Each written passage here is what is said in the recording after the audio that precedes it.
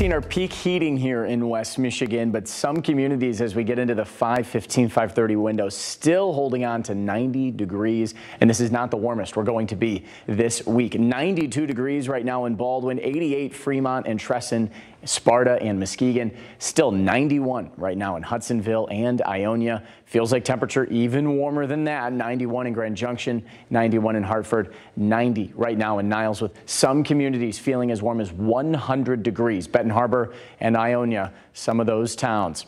Dew points. This is that moisture in the atmosphere. 73 in Hastings, 70 in Allegan. Normally you get above 60. You start to feel that stickiness in the atmosphere. 70s is borderline oppressive, really tropical atmosphere. So it does not take much to break a sweat out there this evening and it's only going to get a little bit higher here into Tuesday. That's going to have our air temperatures about 12 degrees lower than our feels like temperature. That is a, a pretty large gap here for West Michigan from our air temperature to our feel like temperature for tomorrow. Wednesday still humid, but relief will slowly trickle in Thursday on through the end of the work week. So because of all the heat, a heat advisory is in effect here. This is because if you sit outside for 10, 15 minutes with limited water, it could lead into heat exhaustion or maybe even heat stroke. But the worst of it is over in Iowa, Wisconsin, Indiana, and parts of Illinois. We do have that heat, excessive heat warning for Berrien and Cass County here. That's all for tomorrow. You can see a screenshot here of the future feels like temperature 105 in Grand Rapids, 105 in Kalamazoo.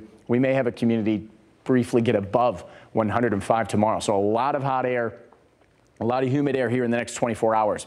Here's the view in South Haven this evening. Great evening to get out to the beach with the humidity. A lot of boaters going to be pretty active this evening. Plenty of people swimming. Water's quiet. Going to stay calm tonight and tomorrow unless we see a few stronger storms, which are possible and already developing over in Minnesota right now, as well as into Nebraska. So a few severe thunderstorm warning there. This is mainly tracking north and east, but eventually going to kind of crash down with the jet stream here overnight and through the day on Tuesday and through the day on Wednesday. So here's through tomorrow morning, we could see this line of showers and thunderstorms lead to some strong wind gusts, maybe upwards of 50 to 60 miles per hour with any isolated severe storm. Not anticipating any hail, which is good news.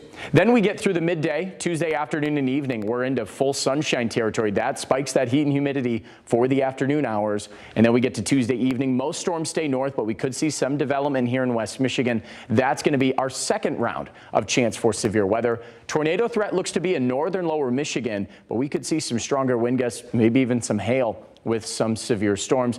Downpours and lightning going to be expected with that as well.